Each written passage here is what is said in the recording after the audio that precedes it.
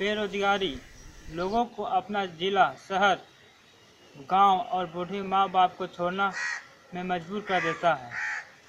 यह समस्या गाँव दशरथ नगर टोला छिबरा की है। आप लोग कौन काम करते हैं?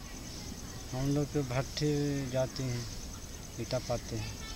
आप लोग बाहर का इटखोला क्यों जा रहे हैं? हम लोग बहुत इमरजेंसी हो गया किसी बाल बच्चे का परिवार हमको दुखी में है तो इसलिए पैसा में लिए हैं एडवांस इसलिए दिखाए हैं बीमारी से पीड़ित हैं खर्चा हो गया है। एडवांस कितना लिए? एडवांस ले लिए हैं थोड़ा बहुत दस पंद्रह हज़ार रुपया। तो आप लोग बाहर क्यों जाते हैं? बेरोजगारी है क्या करेंगे अभी आप लोग क्या करते हैं यहाँ पर? अभी यहाँ बैठे रहते हैं। मनरेगा द्वारा जॉब कार्ड मेरे पिताजी के है। तो उनको काम यहाँ मिलता है? जी नहीं। कौन लोग वहाँ ले जा रहा है आप लोग? और ठेकेदार ले जाता है। कहाँ पर ठेकेदार है? और ठेकेदार मेरा गाँव के बगल का है। आप लोग जो अपने साथ बच्चे को ले जाते हैं तो उन पर क्या असर पड़ता है? यहाँ पर कुछ नहीं है कि पढ़ाई लिखाई नहीं होता। है तो आपके बच्चे नहीं पढ़ पाते हैं तो इसके लिए आपको कैसा लगता है? ये तो अच्छा नहीं लगता है लेकिन फिर भी क्या करें मजबूरी है। क्या मजबूरी है?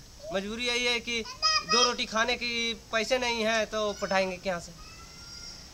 आप चाहते क्या हैं?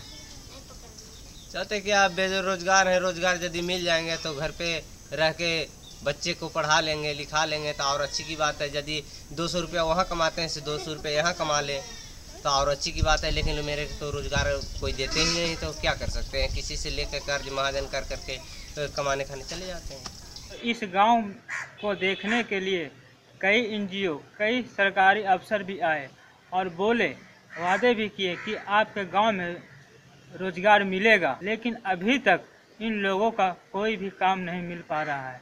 जो लोग इस वीडियो को देख रहे हैं, वीडियो का मोबाइल नंबर चौरानवे इकतीस, इक्यासी, चौरासी, आठ, नौ पर फ़ोन कर उनका दबाव बनाए और वहाँ के ग्रामीणों को काम दिलवाने में उनकी मदद करें।